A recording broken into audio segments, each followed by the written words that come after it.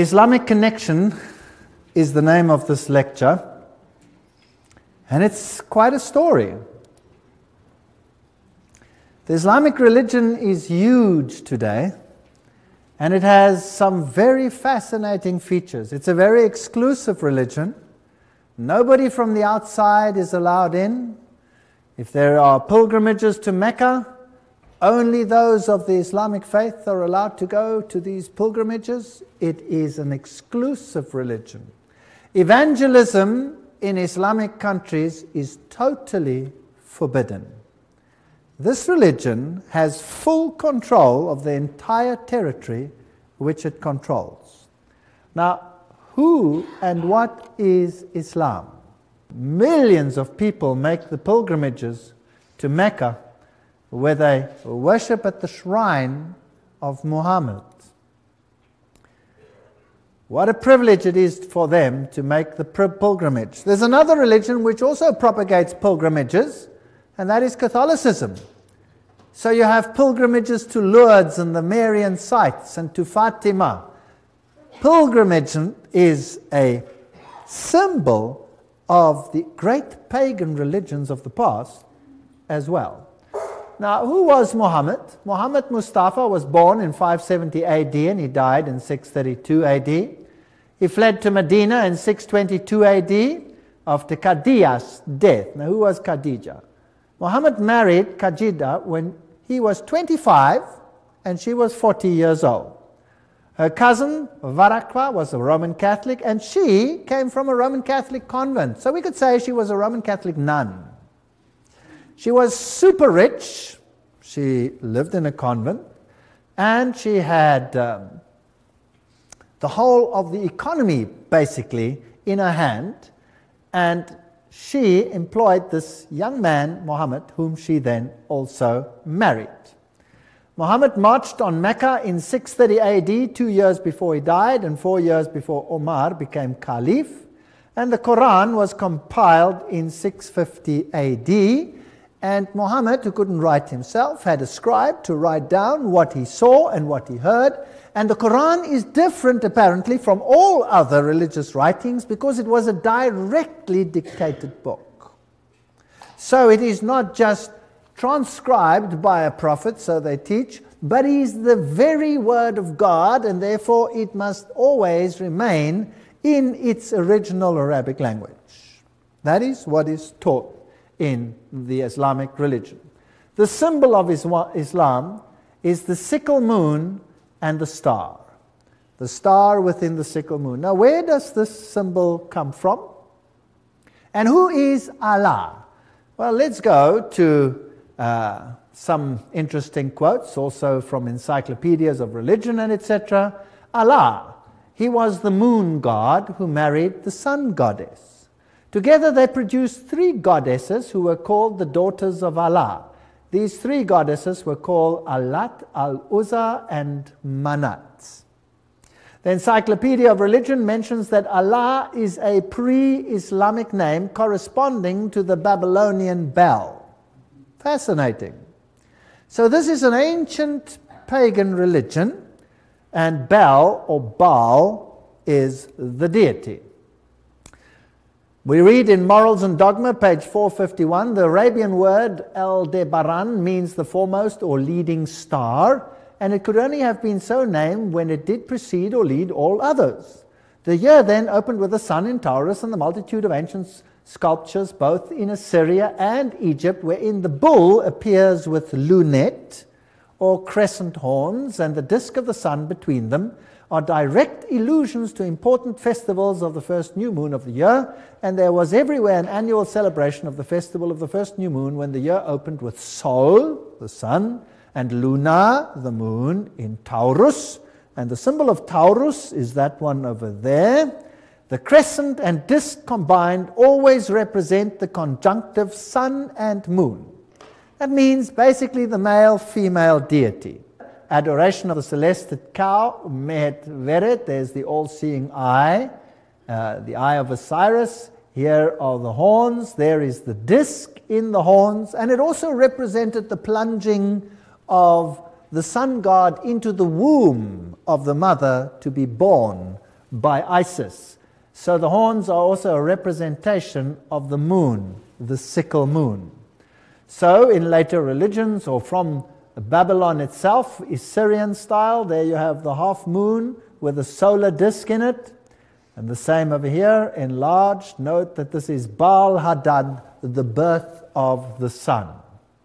If we go to Mesopotamia, we'll find the old symbol of Baal and Bel was exactly the same the half moon and the star in it, representing the birth of the sun. Isis and Osiris, the male female aspect.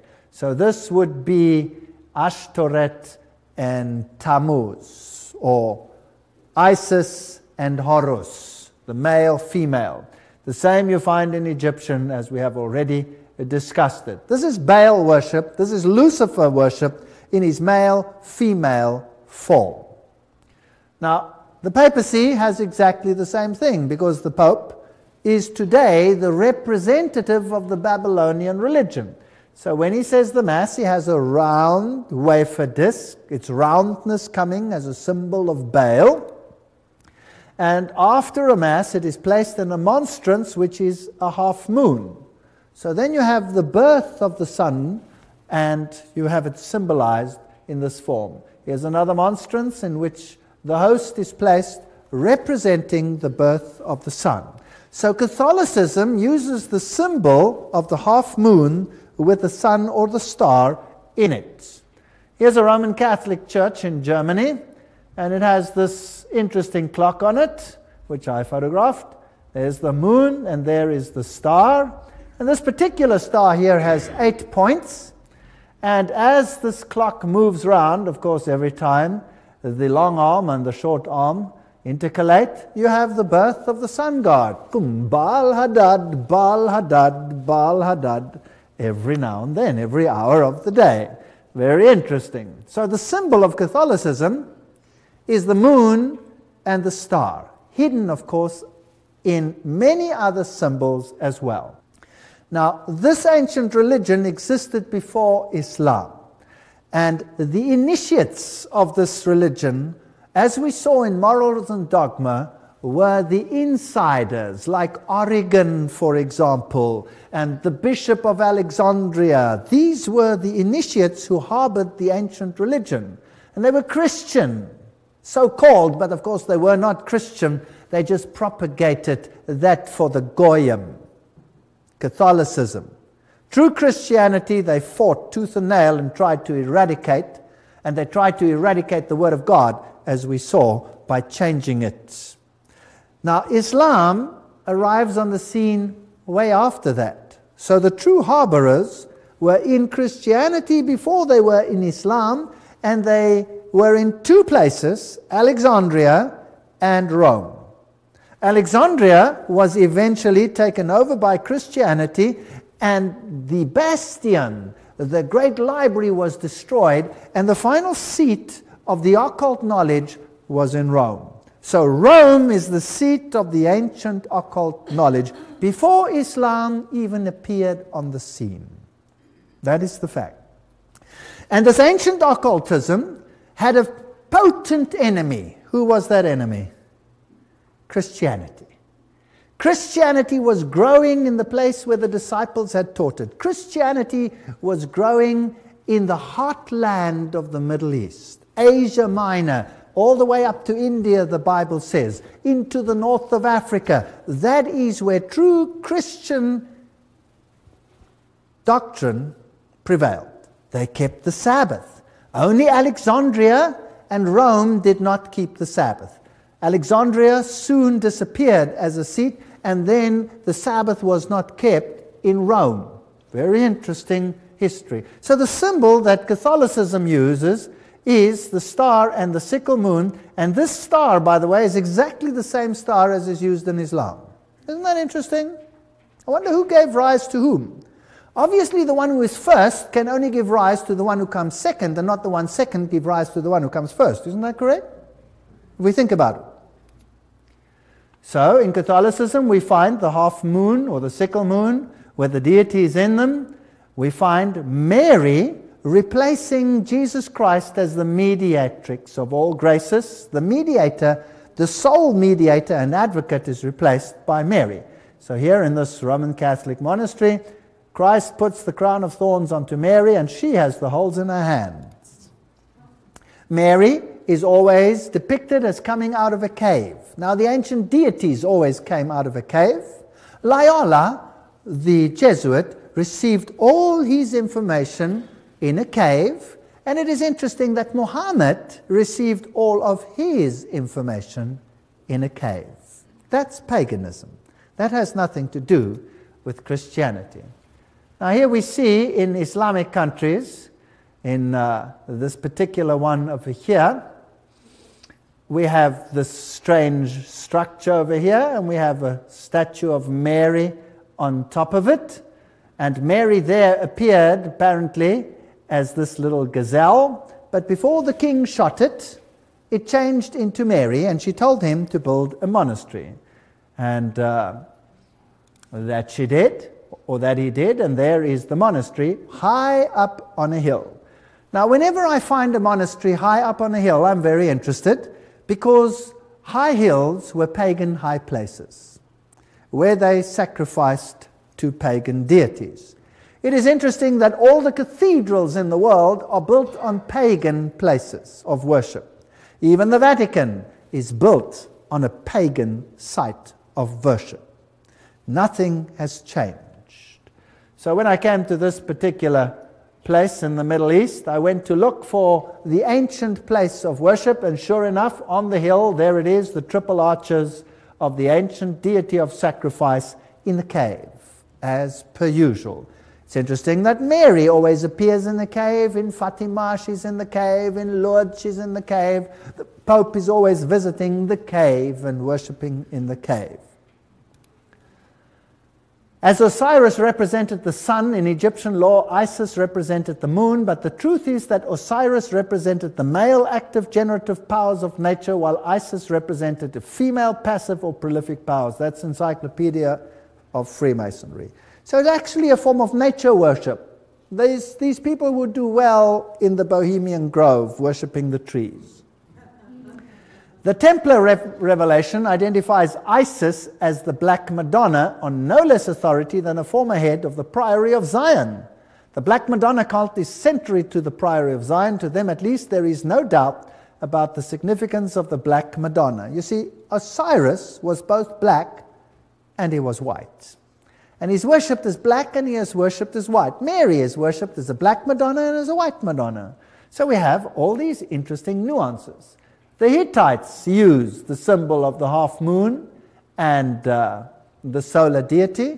This symbol today, of course, is used by none other than the United Nations.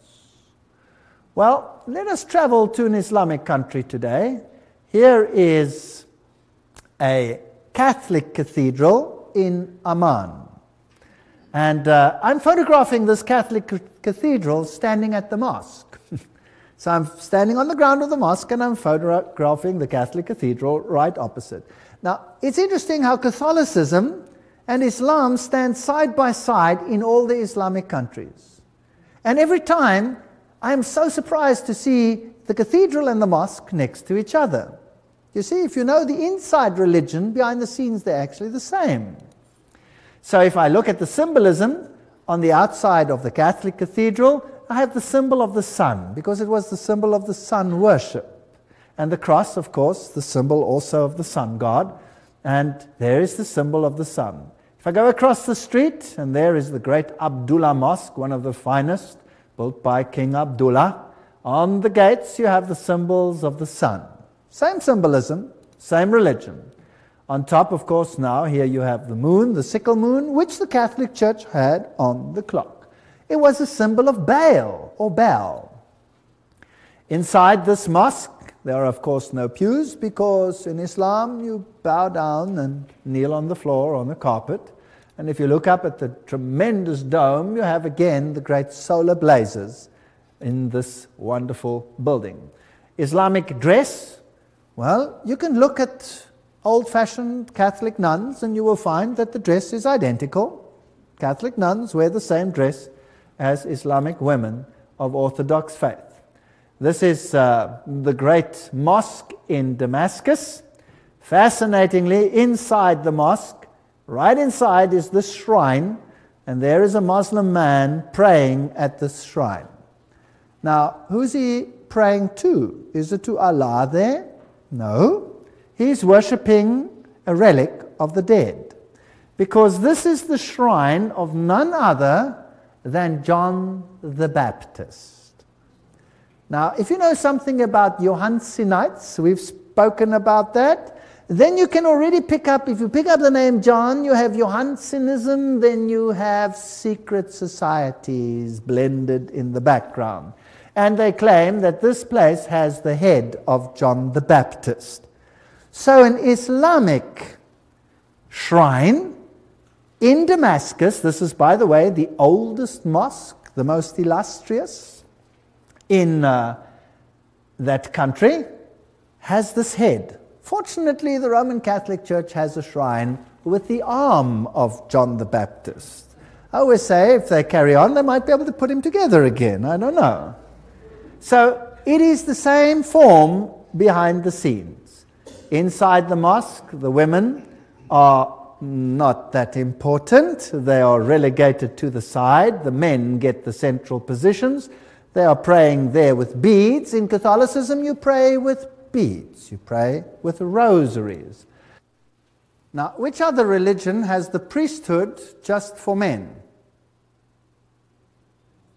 The Roman Catholic Church is exactly the same. And here you have the same position in the Islamic world. The Islamic all seeing eye, this is a very prominent structure that is used in all of Islam. And you will not find a taxi cab anywhere in Islamic countries that will not have the all seeing eye there as a protection. Of course, it's used in Catholicism as well, and it's on the US dollar and all these interesting places. There's, of course, the Eye of Hathor, the Eye of Osiris on an Egyptian temple. There it is on a Roman Catholic pulpit. Another one on a Roman Catholic cathedral. Masonic author Carl Claudy writes This is one of the oldest and most widespread symbols denoting God. We find it in Egypt, in India. The open eye of Egypt represents Osiris. In India, Siva is represented by an eye, and the Encyclopedia of Freemasonry says the all seeing eye is an important symbol of the supreme being borrowed by Freemasonry from antiquity. On the same principle, the Egyptian represented Osiris. So, Islam uses the symbol, Catholicism uses the symbol. I'm just showing you some comparisons. To the ancient Egyptians, the right eye symbolized the sun, the left eye the moon. So there you have again the two aspects of the sun god. Bailey then goes on to mention, this is Alice A. Bailey, that the eye of God is Shiva or Siva, the destroyer. Remember, Shiva is the Indian god who is the equivalent of Osiris. Shiva is also a synonym for Satan. Is it possible that both religions in the inner circle worship the same Lucifer, but that the outer court knows nothing about this? Well, who was Baal? Encyclopedia of Freemasonry. Whenever the Israelites made one of their almost periodical deflections to idolatry, Baal seems to have been their favorite idol. In Tyre, Baal was the sun, Ashtoreth the moon, and so we have all the evidence that they know exactly what they're doing. There is no contradiction here, for Set is the Egyptian devil and Shiva is the Indian god of destruction. Both names, Set and Shiva, are listed in the Satanic Bible as another name for Satan. And Elena Petrovna Blavatsky affirms now we have to remember that Shiva, Shiva, Palestinian Baal, or Moloch, and Saturn are identical. Is it possible that both religions serve the same master behind the scenes and that the masses are deceived, just like in Catholicism? Beautiful people who are kept ignorant. And the sincerity of the Muslim duped and misused because they are goyim, catechumens, Elena Petrovna Blavatsky links Set to Satan. Hermes, the god of wisdom, is called Tot Tat Set, Satan. All of these. Ancient Egypt, Satan, Set was worshipped under obscene homosexual rituals. And they had temples in which they had these homosexual rituals. For example, the Luxor temple. Uh, I have them, but I won't show them. Now, this is an ancient pagan site, the Luxor temple, one of the great uh, relics of past times. Now, here we're going into the entrance, and oops, what's that? That's a mosque. Now, where's that mosque built? You, you don't mean the mosque is built into the Luxor temple? Is that possible? Well, let's go a little bit closer. Yes, there it is. It's in the Luxor temple. What does that tell you? If you had to build a Christian church today, would you go and choose the ancient pagan temple of Baal and build your church right in it? Yes or no? No. Of course not. But what if the secret religion is really the same old ancient religion of Lucifer worship? Would you then perhaps do it? Perhaps, yes. So there they've done it. It's built into that temple. Amazing. On the ruins. Now let me take you to the temple of Baal, which is in another country, in Lebanon. And there it is. And on the Baal site, which is the same deity, by the way, oh, what is that? That is a Roman Catholic place, a Roman Catholic church. On the same site, there is the cross, there's the temple of Baal. Why build it on the same site?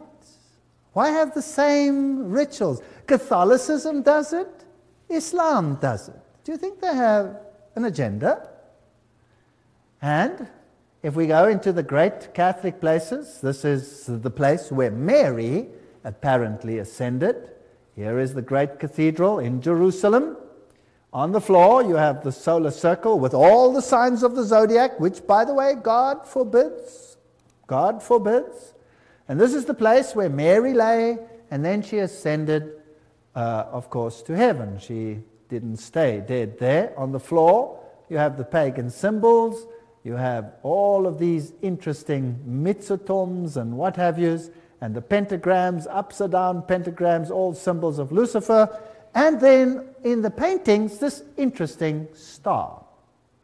This is actually two squares, one inside the other, and that is how the pagan deities were represented very often, either as triangles, one within the other, or as squares, one within the other and the squares, one within the other, were often used for Isis and Osiris. There you see it in the Roman Catholic Church dedicated to Mary. Also, on the floor of that Roman Catholic cathedral, you have the boat, you have the waves, the water, you have the P and the X. Remember that Morals and Dogma told us that that was the staff of Osiris. So that means it's actually a male phallic symbol, and the boat would be the womb. This is a very naughty picture in a nice setting. Nobody would know what that really means. Nobody would really guess that that is an obscene picture. Unless you read what the Masons say about it. Now, isn't it interesting that the ship with its mast in the half moon was also the same depiction? So here is a Roman Catholic cathedral built like a Phoenician ship. Now, what has a Phoenician ship got to do with Roman Catholicism? Unless, of course, it is the womb. Now, let's ask Albert Pike to explain this to us. Albert Pike writes that Isis and Osiris, the active and passive principles of the universe, were commonly symbolized by the generative parts of man and woman. The Indian lingam was the union of both, as were the boat and mast and the point within the circle, all of which express the same philosophical idea of the union of the two great causes of nature, blah, blah, blah, blah. So we're still on track here. We find this in the Roman Catholic Church. Inside this Knights Temple, we've been there before, but I want to show you something else. Remember last time I showed you the double headed eagle? But I'm now going to point your attention to the floor. Oops, what is that? That's an eight pointed star. Now, who does the star represent? Well, there's the Star of Islam. Isn't that interesting? The two are identical. There's the Star of Islam in various forms. So we find the star in Islam, we find it in the Catholic cathedrals, we find it especially dedicated to Mary, and we find it in the Islamic world. Now, how does the star come into existence? It's simply a square within a square, and there you have it. If you want to have the Star of David, you just take the triangle within the triangle, and you have it. There you go. It's a sex symbol. It's occult. It's very occult, in fact. So now, here's an interesting story of a man who claims to have been a Jesuit. His name is Alberto Rivera. And he claimed that Cardinal Bea, the Jesuit general, personally instructed him on the origin of Islam. According to Rivera now, the Roman Catholic Church started Islam on purpose to take the Arabs under their control and to secure Jerusalem. Fascinating. This is, of course, highly ridiculed in the literature. Nothing like that ever happened. But uh, let me digress and speculate a little bit. Who was first, Catholicism or Islam? Catholicism was first. And Catholicism had a major problem. You see, the Byzantine church initially was on the side of Rome, no problem. In fact, the Byzantine emperor elevated the Roman pontiff to his level of corrector of heresies of the entire world. So, yes, the Byzantine church and Rome were initially one.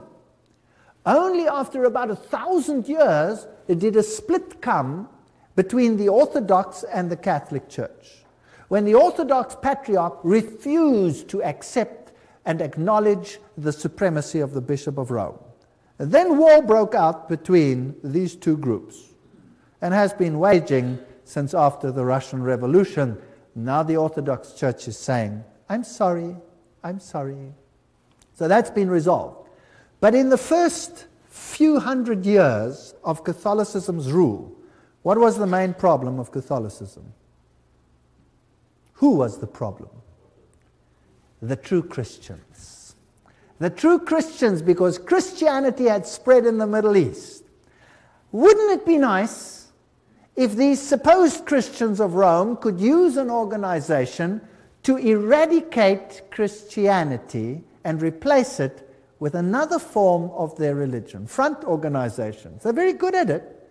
You know, the Jesuits created who? Freemasonry to do the work. If something, they banned Freemasonry, and if something happens, they say, oh, it wasn't us, it was Freemasons. Isn't that right? Well, they blame the Jews. No, it's not us who rule the world, it's the Jews, it's them, it's Zionism. But in actual fact, it's Catholicism. Now, if the occult world wanted to gain control and the occult world controlled Rome, why not control all occultism? Wouldn't that be interesting? I'm just speculating. I can't prove this. I'm just saying that that's what Rivera said. Rivera said, nobody believes him. So let's have a look at what happens. Fatima is a very interesting place because Islam controlled Spain and Portugal once upon a time, and the Pope is here in front of the statue of Fatima. There's the shrine, the Fatima link. A Vatican insider, Dr. Malachi Martin, has said that based on the message of Mary in a personal visitation, John Paul believes there will come a day when the heart of Islam, already attuned to the figures of Christ and of Christ's mother Mary, will receive the illumination. I like these words. You know, they, they sort of ring once you get to know them. It needs a second Fatima, in which they will recognize him as God's vicar on earth. So, who must be recognized as God's vicar? The Pope must be recognized as God's vicar. Then, with fellow travelers like the Church of England, the Episcopal Church, and others of like mind, the Pope could be worshipped as the infallible Holy Father by over one half of the world's population. I'd like to correct him. All of the world's population. But that's besides the point. Now, early Islam, which area did it occupy? This area. This area. Who ruled over here? Who ruled there? Only Christianity. Before there was Islam, that is where Christianity was. And so Islam took hold of this area. Then, by AD 750, Islam progressed and took over all this, including Spain. That's fascinating. Spain. and all this Asia Minor area was controlled by Islam. Did you know who ruled in Spain? It was the Visigoths. And the Visigoths had a different gospel to Catholicism. They were more in line with the Ostrogoths, who actually were Sabbath keepers. Problem people that had to get sorted out there maybe for a while, just speculating. AD 900, there they go, withdrawing from the north of Spain. The Franks were very strong Catholic supporters. Slowly, slowly, Islam is moving out. And there, this whole area controlled now by Islam. 1,100 in the south of Spain. In the south, there's a group which is more independent than in the north. Tremendous battle, the Spanish area. And then they control this area, and AD 1500, they're out of Spain. The West Roman Empire is totally Catholic. This is Catholic. And Rome controls the Catholic world. And Islam controls this area. Today, this is the Islamic distribution, and there are two uh, sects the Sunni and the Shia and they control vast areas, a huge area. But initially, where Christianity was, today you can put Islam. Gary H. Kah, remember, speaks of the ancient mystery religion controlled by Freemasonry and the Illuminati and the World Council of Churches. Now, what if the true mystics behind the scene, the power mongers, are really in Rome and that they control everything, including this other religion? through insiders. And then, if you put all the pieces together with all the references that there are, there are tremendous links between the Templars and the Islamic secret societies the Ismailis, the Karmatites, the Fatimites, the Druzes, and the Assassins. Now, the Assassins were interesting because they would kill themselves to gain an advantage. They could blow themselves up, blow themselves up to destroy others. Do we have something like that today? Oh, yes. So nothing's changed. History is repeating itself. Now, who were these secret societies that were in cahoots with the Templars, or did the Templars control them? Who knows? Let's read about the assassins. Degrees of the assassins was thus as follows. First, there was the Grand Master, known as Sheikh al-Yabal, or Old Man of the Mountain. Second, the Dial Kerbi, the Grand Priors. Third, the fully initiated. Fourth, the Rashifs, the Associates. Fifth, the Fadais, the Voted. Sixth, the Lasiks, or Law Brothers. And lastly, the common people, who were to be simply blind instruments. Does it sound familiar? The poor blind Goyim's catechumens. Designs against religion were, of course, not admitted by the order. Strict uniformity to Islam was demanded from all the lower rank of uninitiated, but the adept was taught to see through the deception of faith and works. So here we have a whole nations subject to these insiders using them as human cattle. Wouldn't you feel sorry for them like we have to feel sorry for ourselves because we've been duped like that as well? Thus, by the lure of paradise, the assassins enlisted instruments for their criminal work and established a system of organized murder on the basis of religious fervor. Nothing is true and all is allowed was the ground of their secret doctrine. The Jesuits have the same doctrine today, which, are ever being imparted but to a few and concealed under the veil of the utmost austere religionism and piety, restrained the mind under the yoke of blind obedience. Poor people duped by satanic insiders. Now, the Fatimites was another group that took over. The founder of the Fatimid dynasty of the Caliphs was Ubaidallah, known as Mahdi. Societies of wisdom were instituted in Cairo. Dar ul Kimat, or the House of Knowledge, by the sixth Khalifa Hakim, who was raised to a deity after his death and is worshipped to this day by the Druzes. Under the direction of this man, the Grand Lodge of Cairo was formed by the Fatimites and continued the plan of Abdullah And there were a number of degrees, nine in all. Their method of enlisting proselytes and systems of initiation, blah, blah, blah, are absolutely those which Weishaupt used for the Illuminati. So, you know, there's no difference between Rome and these folks. It's the same organization. Is it possible that they've used thesis and antithesis for thousands of years, if you like, to rub up the remnants of Christianity and opposition? And later, when the Orthodox Church split, what did they do? They created an empire called the Ottoman Empire, which went in and slaughtered the Serbs, who were Orthodox, and slaughtered the Romanians, who were Orthodox. They raped the women. They threw the children in the air. They caught them on the ends of their bayonets. They decimated whole Orthodox areas. Incredible. And what escaped to the north into Russia, it didn't escape the sword of communism, Lenin and his murderous band. There has been a religious war since Christ died. And who is being rubbed up? The souls of men. So here are the men of Islam. Who are these insiders? Who are these ayatollahs? Should the world be afraid? The world is meant to be afraid. Are you with me? So you have thesis, you have antithesis. In the world wars, they said communism is the threat. You are supposed to be afraid so that you will accept any changes that are necessary to meet the threat.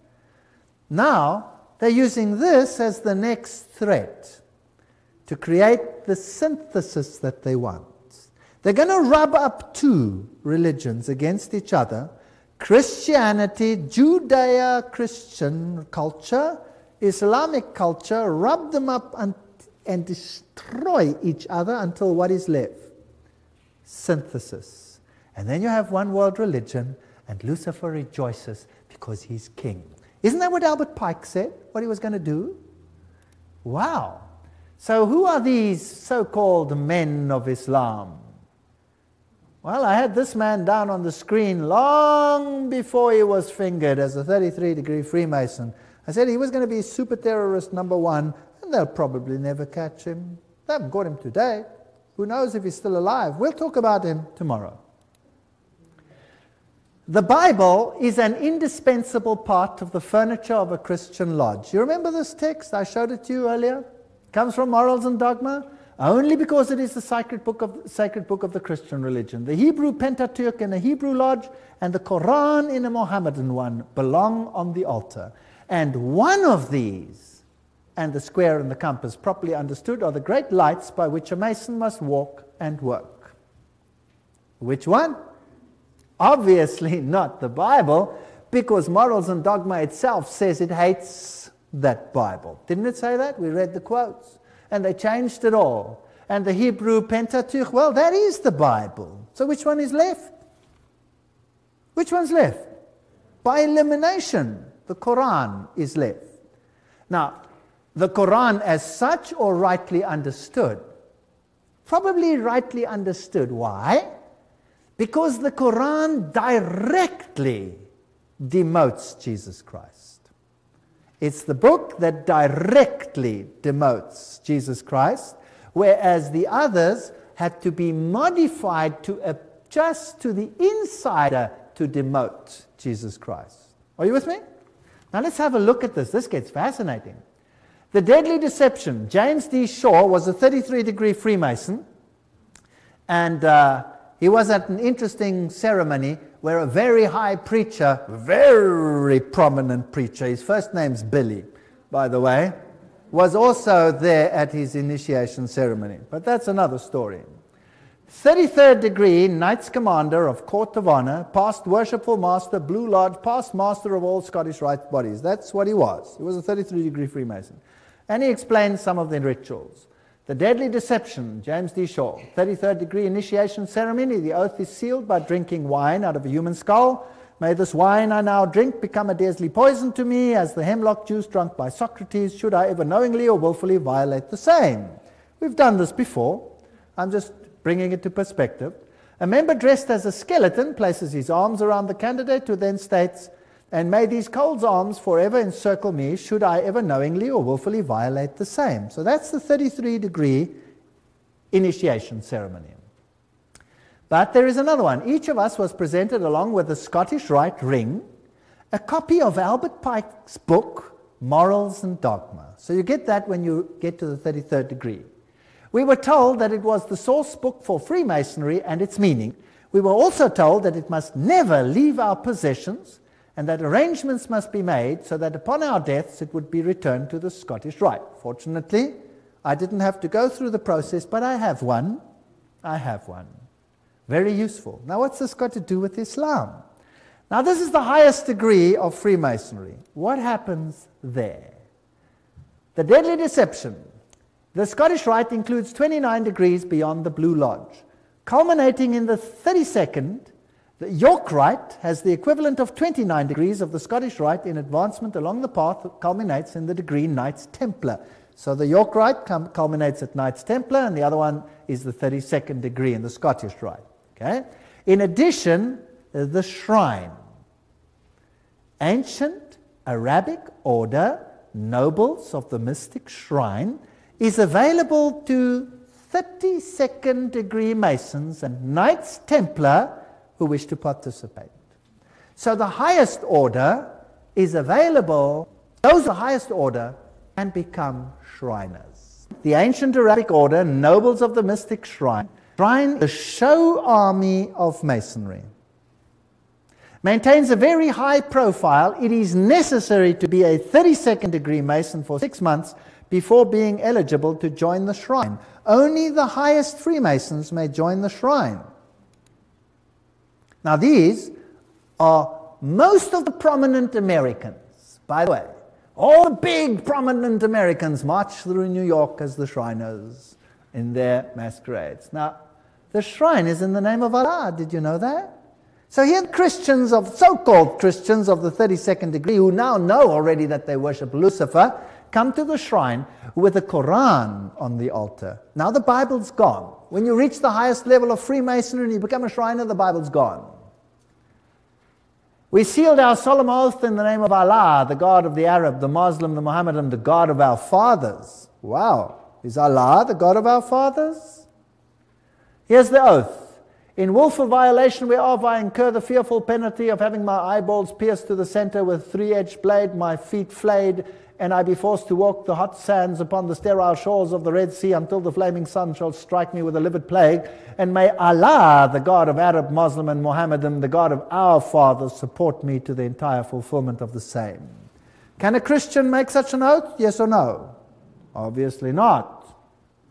So, Masonry is nothing other than the ancient mystery religion and Jesuits are the ancient mystery religion, and Islam is the ancient mystery religion behind the scenes. And who do you think controls it all? Rome. Rome controls it all. So, how would you like it if I said that I believe that Islam and Catholicism behind the scenes is one and the same thing? Have you noticed that Catholicism never complains about Islam not allowing evangelism. Because it suits their purpose, it's already Catholicism. But when evangelism is done in non Islamic countries and it draws Catholics away, whoo, then you have huge drama. Isn't that interesting? Those are double standards which are hard to understand unless you look behind the scenes, where you have all these Egyptian rooms and the Syrian rooms. And here is a Masonic lodge the Freemason Lodge meeting in Cairo, President Gamal Abdel Nasser, President Nasser, 1954 to 17, Anwar Sadat, 1970 to 1981. They were all members of the AEO, the ancient Egyptian order, and of the ANOMS, the order and the Arabic nobles of the mystic shrine. So, isn't it interesting that they're all working together behind the scenes? This is all a joke. Here is Judge Racheb Idris, ex governor, Grand Master of the Sovereign Grand Commander of Egypt. There is the Fez as their symbol. This is uh, a mason himself who showed me in Lebanon that most of the high Muslims were all masons. He himself was a high mason. Anyway, masonry. Let's go to this Masonic temple in Oklahoma, and what do we see? Aha! We see affairs. And we see Arabic symbols, and we see affairs, affairs, affairs, affairs. And of course, Mosla, Muslim, Allah. So Freemasonry at the highest level worships Allah, who actually directly is Set, symbol of the, the moon and the star. Well, Arthur Edward Waite says Babel represented a Masonic enterprise. Now, what does this mean? Now, let's get a little bit deeper into the story. We've seen that before as well, the Tower of Babel. Now, that's what the Tower of Babel looked like, supposedly. Notice that it is built as a spiral. These are all the representations that you find in the literature. There's another representation of the Tower of Babel. Notice the spiral way in which it goes up to the top. There's a whole host of them spiral, spiral, spiral, circular. There's a strange one, but they're all spirals. Most of them probably look like that. So that was a Masonic enterprise. Now, isn't that interesting? Let's look at this picture again. In an Islamic country, Mary on the spiral, standing on top. Here we have Holy Mary, Queen, circle with a dot in it. Do you remember what Albert Pike said that was? That was the generating principle, like the ship and the mast. Same thing. They use that symbol for Mary. Oh, here's another place. Can you see that over there? There she stands. This is in southern Africa on the spiral. What is this? That's the Tower of Babel. There we see it from the front. This one over here in Lebanon. I took this one myself in Lebanon. There she is on top of the Tower of Babel. So who's going to be queen of the new Babylon? Mary. But who is Mary? Mary is Isis. Is she? Here is this church where her figure is with this uh, Phoenician ship over there. There you can see her silhouette through the window, and there's the painting of her. She is the Queen of Babylon. Let's ask Blavatsky whether this is so.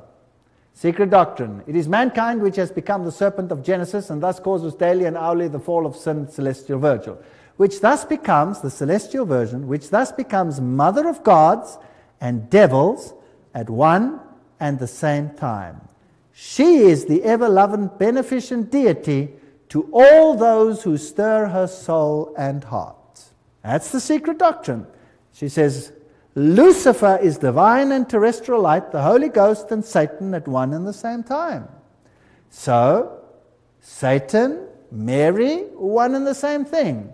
In Blavatsky's work, Isis Unveiled, she says Isis, the Egyptian, had the following Holy Isis, universal mother, mother of gods, mother of Horus, Neith, Mother Soul of the universe, Virgin, Sacred Earth, Mother of all virtues, illustrious Isis, Mirror Justice, Sacred Lotus, Sister of Astarte, blah, Moon, Queen of Heaven, Model of all mothers, Isis is a Virgin Mother. Then she continues, in Hinduism, same thing. It's Holy Nari, Mariamma, interesting mother of perpetual fecundity, mother of the incarnate God, mother of Krishna, eternal virginity, all the same features all the way through. Then we go to Isis, Roman Catholic litany of the virtues. Same book. This is secret doctrine. Uh, at least Isis unveiled. Holy Mary, Mother of Divine Grace, Mother of God, Mother of Christ, Virgin of Virgins, Morning Star, very interesting, mystical Rose, Queen of Heaven, all the same titles. Isis Mary. Now notice this is Isis Unveiled. This is Helena Petrovna Blavatsky speaking herself. When Cyril, the Bishop of Alexandria, oh well, what can you expect? Of course it was Alexandria, had openly embraced the cause of Isis, the Egyptian goddess, and had anthropomorphized her into Mary, the Mother of God, and the Trinitarian controversy had taken place. From that moment, the Egyptian doctrine of the emanation of the creative God of Emepht began to be tortured in a thousand ways until the councils had agreed upon the adoption of it as it now stands. So there you have it. There it is. The Bishop of Alexandria made Isis into Mary. So it's the same old worship. So if you go into a Roman Catholic cathedral or a Roman Marian shrine, here I've photographed one in Europe. This is recent. I took this five weeks ago. This is brand new. It's nice to have some new slide. Prayer to the star of the sea. Oh, Mary, star of the sea. Who is the star of the sea? Who is the god of the sea? It was Poseidon. It was Osiris. Oh, dear mother, I now come to thee with greatest confidence. The many miracles which had happened, fill me, poor sinner, blah, blah, blah.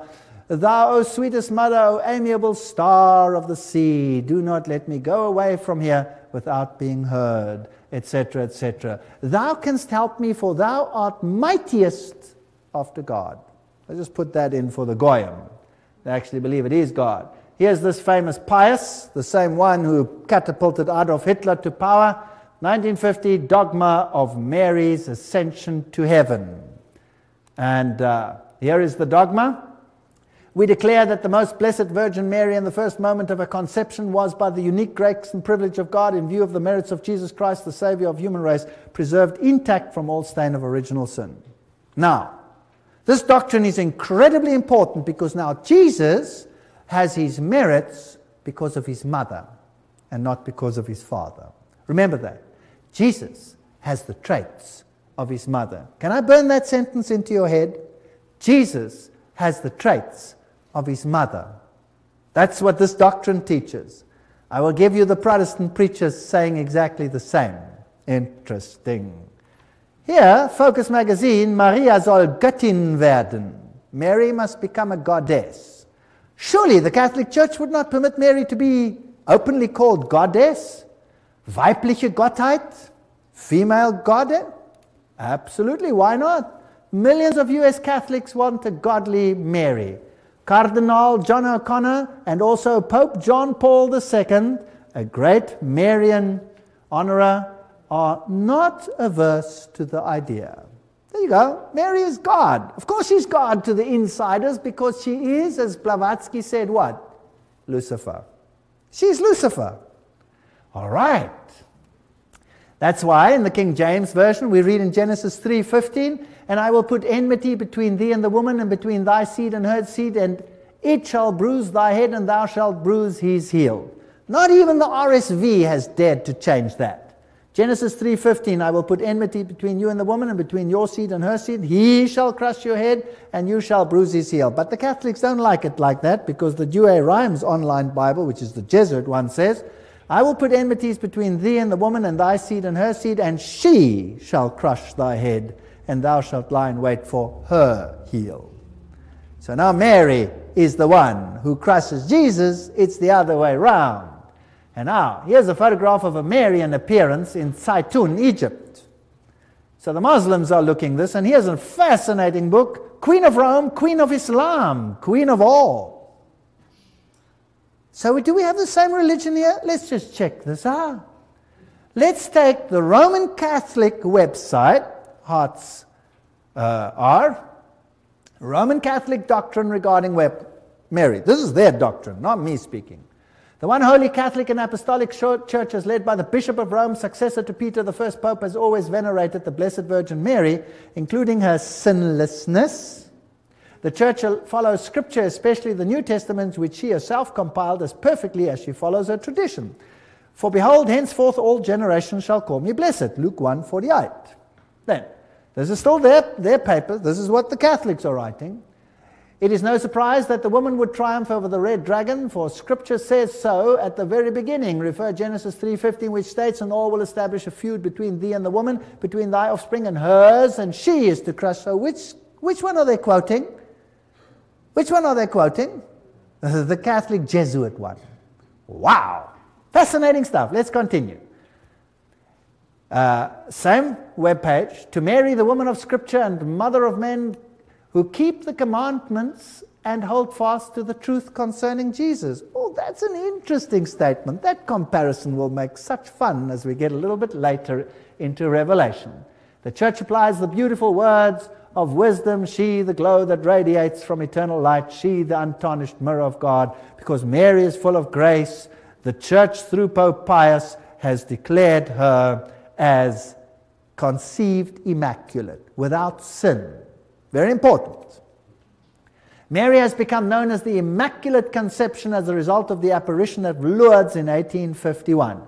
She is immaculate. Jesus is sinless just because of her, not because of God, because of her. The Immaculate Conception, or the Immaculate Heart, Catholic Cyclopedia, Book 6, makes it clear that heart in the biblical sense means the inner person. Therefore, the Catholic Church says bishops united them, consecrate the world to the Immaculate Heart. The whole world has been consecrated to the Immaculate Heart.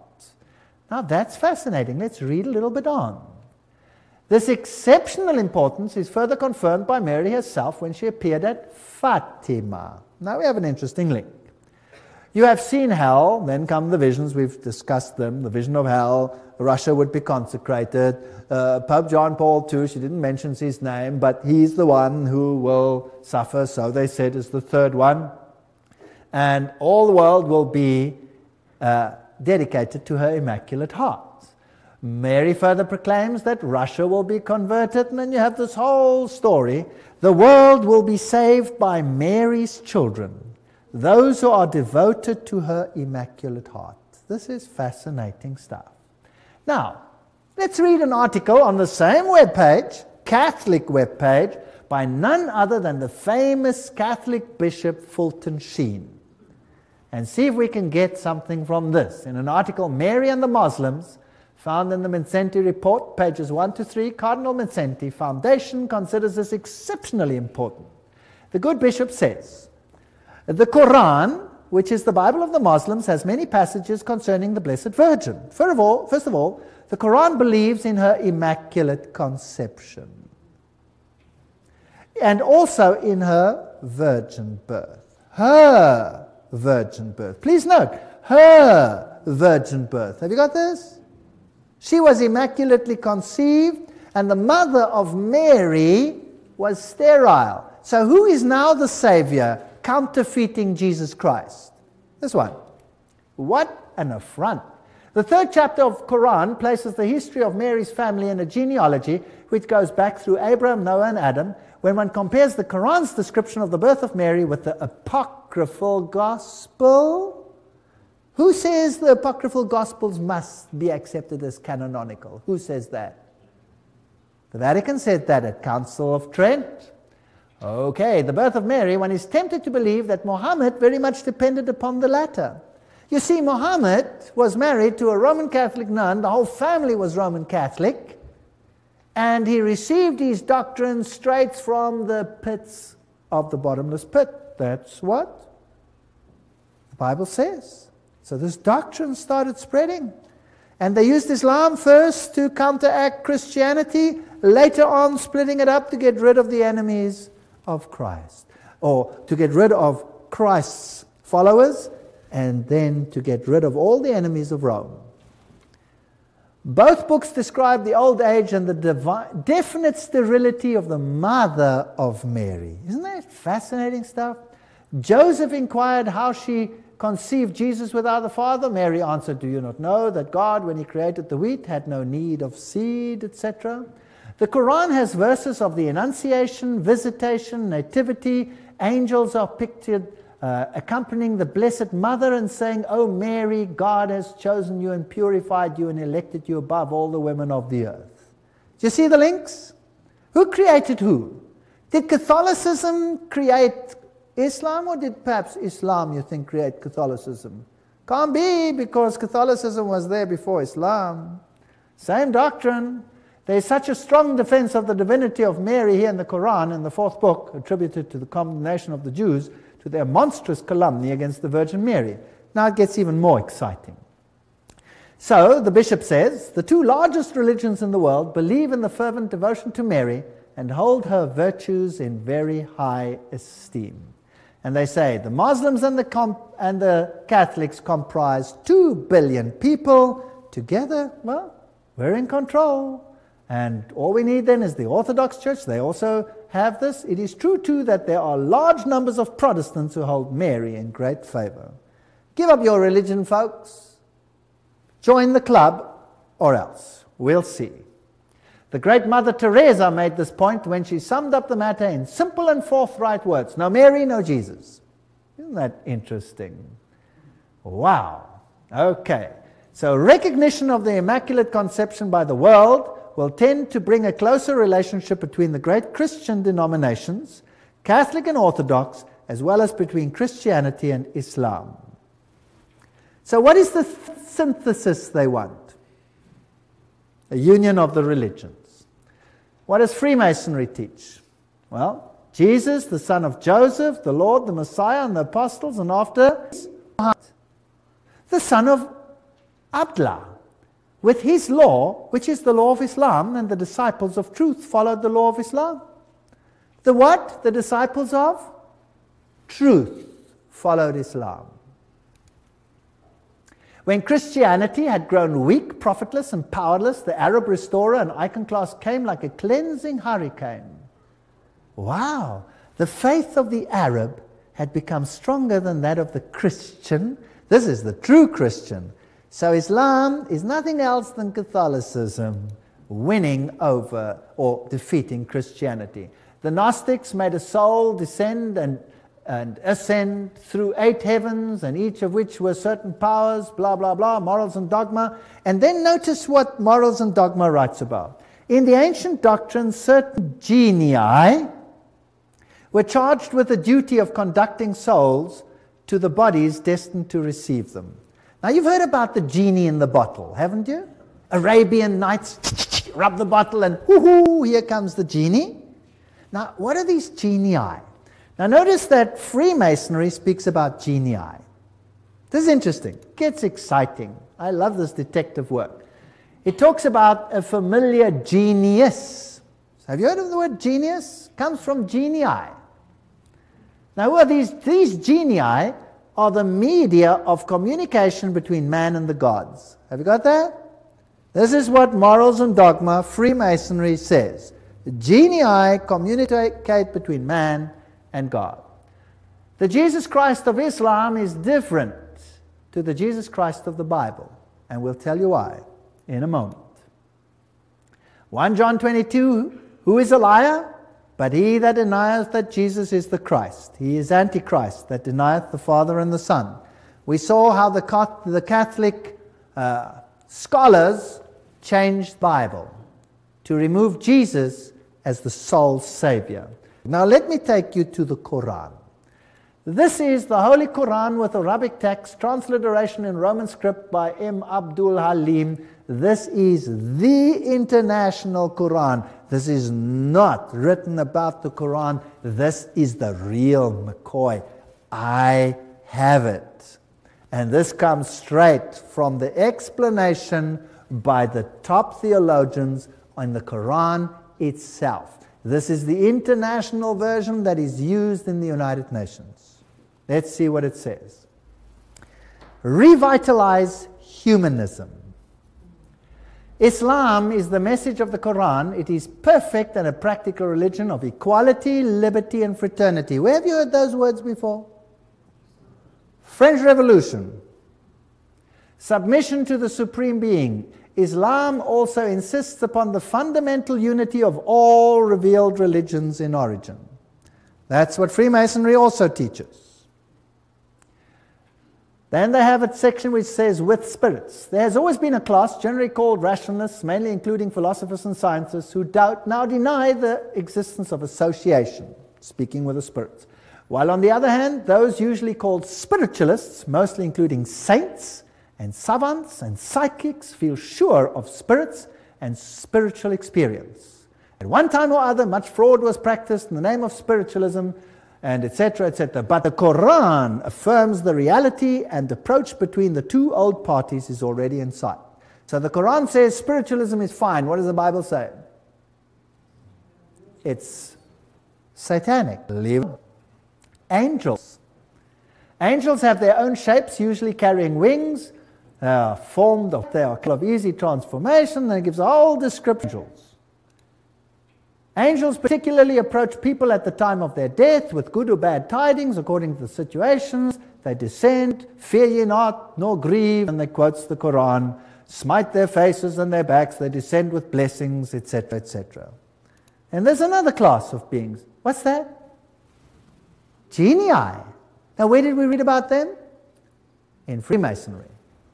Next to angels come genii, who are formed by fire the well known Iblis or Satan, this stands straight in this Quran, being the head of this creation. They had close contact with the Prophet Solomon. So, in other words, Satan is the head of the genii, and the geniuses are the ones like Plato and the others. And then you get devils, these are the bad guys. So, genii are not bad, and Satan is their head. Is that not interesting in the Quran? It would appear from the Quran that man is superior to the angels and the genii, they make themselves perfect. Then they talk about six day periods, and they talk that we came into existence through evolution. And now let's see about the doctrine of Jesus Christ. This is where we're heading. And of Christ in the Bible and the Quran, but the Quran says Christ was altogether saved from the indignity of the cross. Christ never died on the cross. That's what the Quran teaches. Who also teaches that? Spiritualists, the insiders. Because Christ, remember, didn't die for you. Did you see that Hort taught the same thing? Who translated or created the Greek text for the modern Bibles? He said the same thing that Christ was spared. And as if by a miracle of likeness, someone else of the same features was crucified by the Jews under illusion.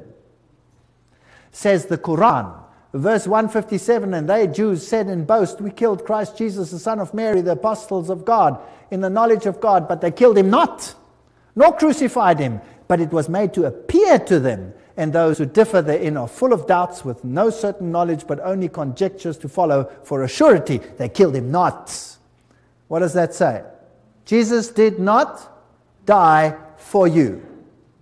This is satanic occult teaching. Verse 158 Nay, God raised him up unto himself, and God is mighty wise, and there is none of the people of the book but must believe in him before his death. So, the Quran is directly against Jesus Christ, and the insiders in the Western world are directly against Jesus Christ, and so the Jesuits. While the Jews claim to have killed Christ on the cross, it is also a cardinal point of faith to the Orthodox Christian churches that Jesus Christ gave up his life on the cross. He was buried after crucifixion. On the third day, he rose again, blah, blah, blah. That he met his disciples and was afterwards taken up bodily to heaven. In fact, this is the belief which formed the basis of the theological doctrine of blood sacrifice, vicarious atonement for sins, which is, however, losing its force with the modern age, an age of action and retribution. Isn't that what Hort said? Yes or no? Is there a difference between the Catholic theologians and Islam? Yes or no? None whatsoever. Who is controlling who? God is indignant, says the Quran explanation here. God is indignant if Christ is believed to be God Himself. Christ is not even the Son of God only an apostle like several others. The same hatred for Jesus Christ comes out over here as we saw the theologians influenced by the Jesuits reveal. Now, this is a tremendous quote from the book Home Missionary. I like this quote. The Savior has said, He that believeth on the Son has everlasting life. And he that believeth not the Son shall not see life. But the wrath of God abideth on him. He says again, And this is life eternal, that they might know thee, the only true God, and Jesus Christ, whom thou hast sent. Mohammedanism has its converts in many lands, and its advocates deny the divinity of Christ. Shall this faith be propagated and the advocates of truth fail to manifest, manifest intense zeal to overthrow the error and teach men of the pre existence of the only Savior of the world? So basically, what I'm doing is I'm showing intense zeal to overthrow the error and to show you that it is a lie. Oh, how we need men who will search and believe the Word of God, who will present Jesus to the world in his divine and human nature, declaring with power and in demonstration of the Spirit that there is none other name under heaven given amongst men whereby you may be saved. Oh, how we need believers who will now present Christ in life and character, who will hold him up before the world as the brightness of the Father's glory, proclaiming that God is love. I spoke to one Muslim imam who convert, converted to Christianity. And I said to him, My friend, what is the difference that you have found between your previous Allah and Jesus Christ? And he said, The only difference between the two is, For God so loved the world that he gave his only begotten Son, that whosoever believeth in him should not perish. That is the difference. Allah, a God of war, a God of retribution, a God that sends his people into destruction, promising them celestial virgins on the other side and eternal bliss and hell on earth and hell in heaven for all women. And Jesus Christ, who says, We are all equal before God. Nobody has the right to submerge the other's character in himself. You are free agents before Jesus Christ. Yes, it says, Wives, submit to your husband as in the Lord. Husbands, love your wife as the Lord loves his church. My Jesus is my husband in that allegory, if you like. He's never forced me to do anything. Never ever has Jesus forced me to do anything. Anything I do for Jesus Christ, I do because I want to do it. If I want to say to him, goodbye, I'm off. Will he stop me? Will lightning come from heaven and I'll go sizzle fits? No. Jesus is the most fantastic being in the universe. Gives you absolute freedom of choice, allows you to choose for him or against him, and the only thing he has in his defense is when I be lifted up, I will draw all men to me. Love is the character of God, and love is the only thing that may conquer.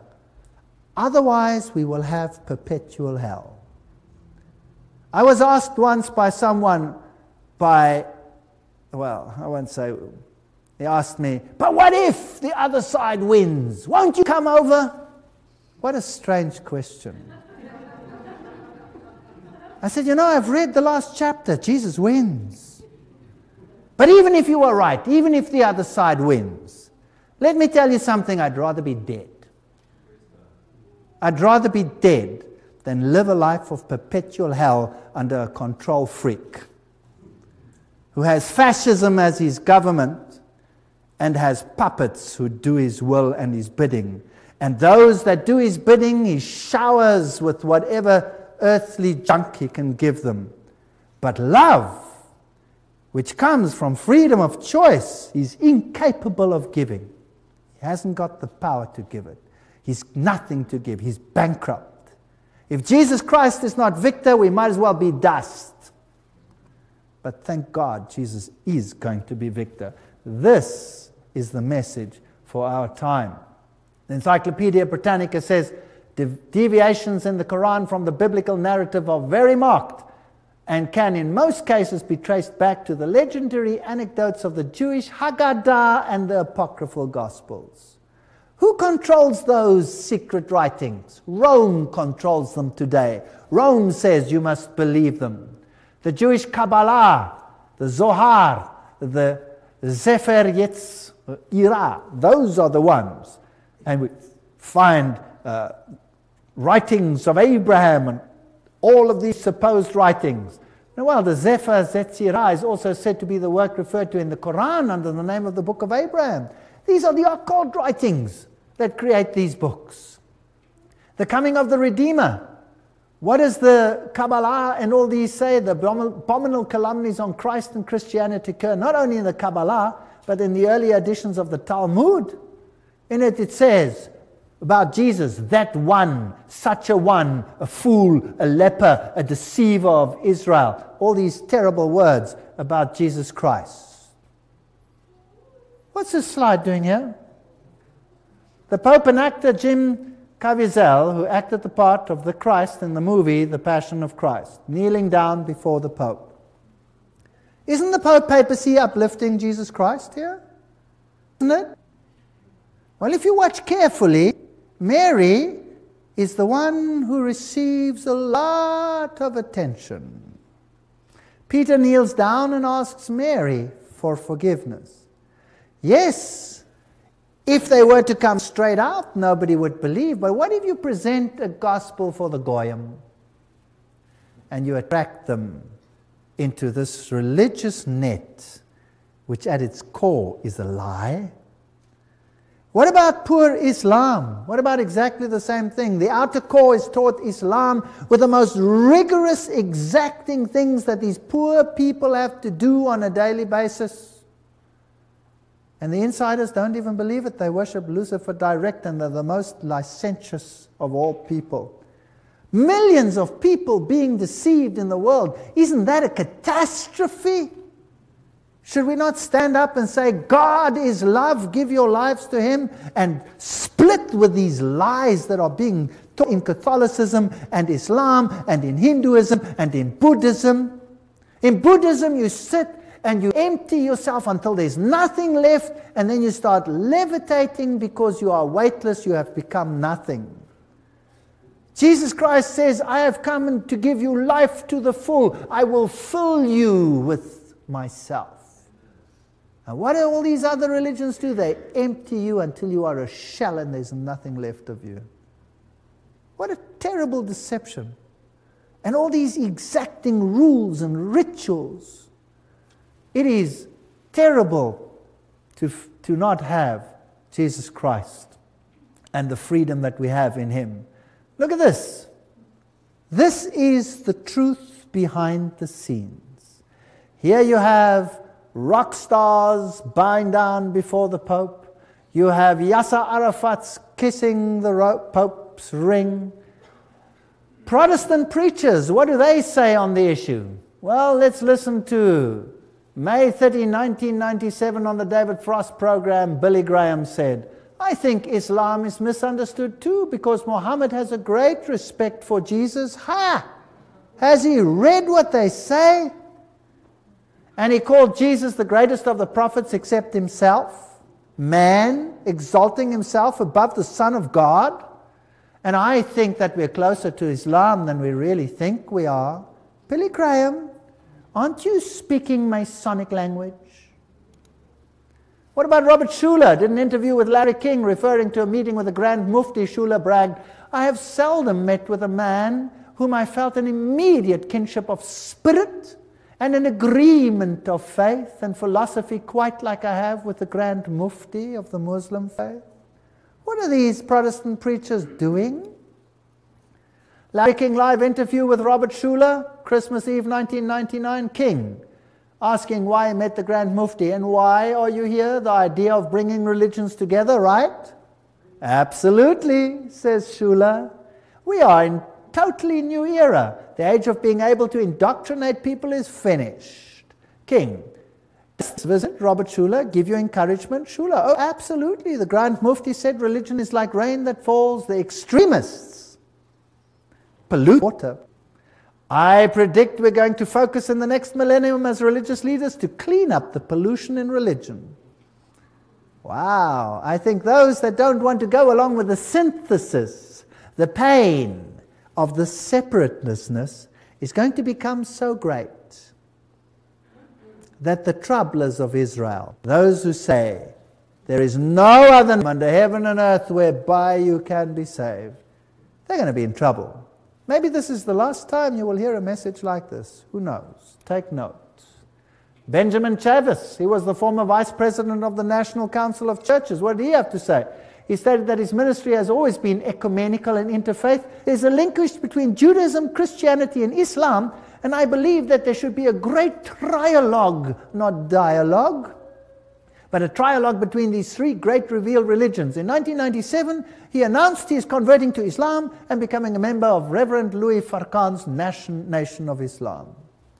He claimed that he still believes in Jesus Christ, but he expects his announcement to shock many of the Christian friends and fellow members of the clergy. And then he goes on to say he also insists that it really hasn't changed. Nothing's changed. He states, if you pour water from one glass to another glass, the composition of the water is the same.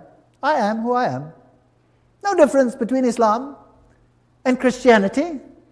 Of course, if you're an insider, there won't be a difference because you're both worshipping at the same, same shrine. The God of Judaism is the God of Christianity, is the God of Islam. Sorry, not in my case. My God died for me. They say he didn't die for me. They've got a different one. What's that? The Pope kissing the Quran? Yes. Here's the photo of the Pope at the end of the audience with the Patriarch Raphael of Iraq, where the Pope bowed to the Muslim holy book, the Quran, presented to him by the delegation. Of course, I've numerous slides for you where the Islamics come and bow down before the Pope. Catholicism, from the beginning, has controlled Islam. Islam is just a tool of esoterics to indoctrinate people into accepting a synthesis. And we are right at the end of time. Revelation 18, verse 4 And I heard another voice from heaven saying, Come out of her, my people, uh, that you be not partakers of her sins, and that you receive not of her plagues. I believe there are many, many people in Islam who will see the light, who will see that they have been deceived, just as there are many, many Catholics who will see the light that they have been deceived. I myself was a Roman Catholic. Here I am, a living witness to this fact. And the truth has set me free.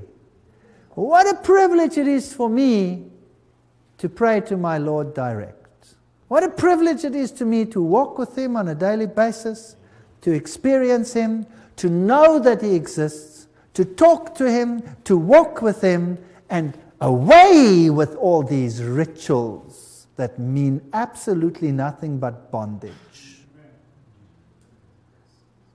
As for me and my household, I would serve the Lord, and I would appeal to every Christian to follow the word and do what it says, and then none of us will be lost.